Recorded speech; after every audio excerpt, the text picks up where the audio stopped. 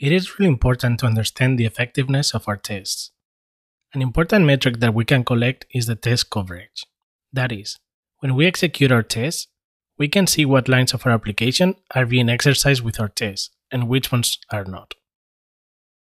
If we run Flutter tests with the coverage flag enabled, we see that a new folder called coverage has been created and has one file inside, lcov.info. If we open this file, we see that we cannot make much sense of its content. This report follows a standard called lcov, a well-known coverage tool in the programming field. If you install lcov, you will have access to a command line tool called genhtml. This tool will receive our lcov.info file, can take an optional output file as well, and when we run it, it will generate an HTML report that is much easier to understand. Let's open the index.html report on a browser and see its content.